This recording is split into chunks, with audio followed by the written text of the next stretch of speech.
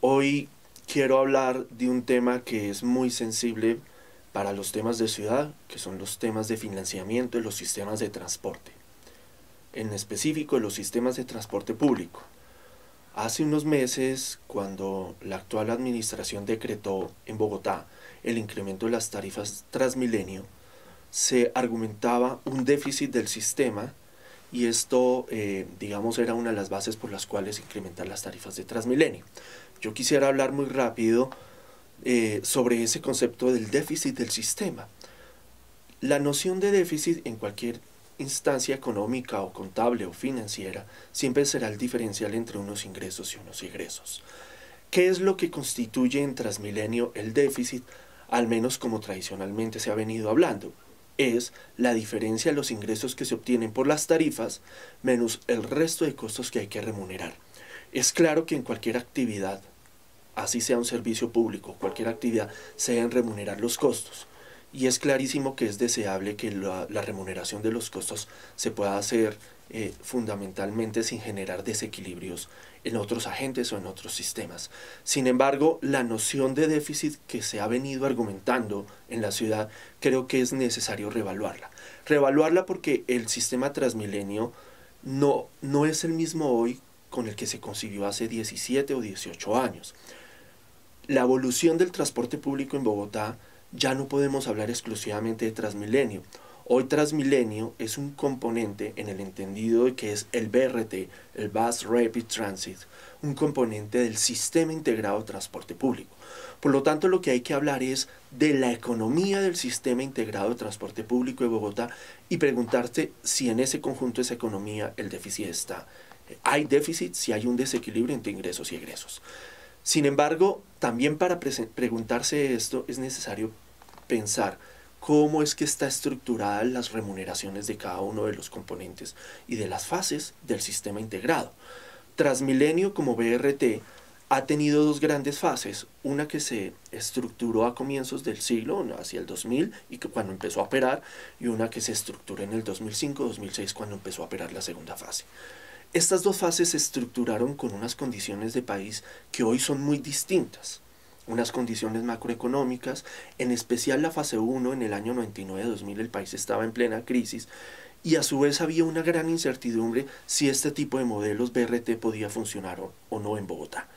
Lo que se pudo notar es que no solamente el sistema funcionó en términos de demanda, sino que todas las variables económicas de aquel momento cambiaron.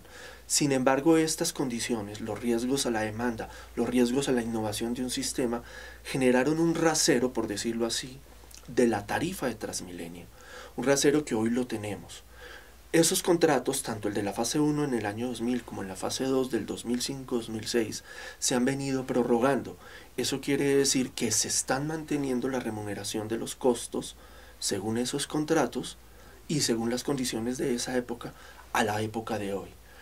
¿Esto qué quiere decir? Que es muy probable que los agentes, los operadores de Transmilenio fase 1 y fase 2 hayan tenido suficiencia en sus ingresos, lo cual eso ha sido bueno porque ha garantizado la operación del sistema, pero que contrasta con los problemas financieros que han tenido los agentes de lo que hoy tradicionalmente llamamos el sistema integrado, que es el componente flexible, estos buses azules que circulan hoy en la ciudad.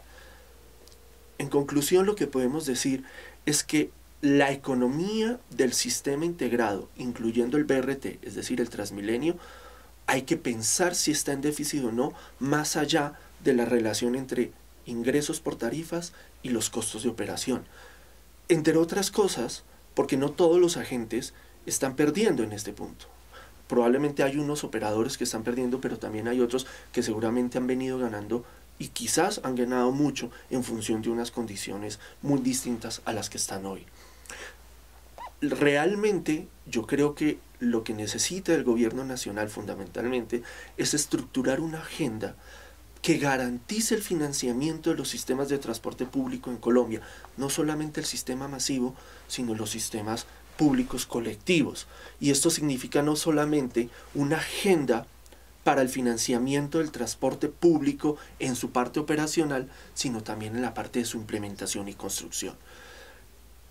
Yo creo que el paradigma que estableció una ley del año 89, la ley 86, de que las tarifas deberían remunerar la totalidad de los costos, es un paradigma que hoy ha cambiado y que por lo tanto hay que revaluarse en función también de la posibilidad de generar unos subsidios a cierta población, pero también la posibilidad de encontrar nuevos mecanismos de financiamiento para la construcción.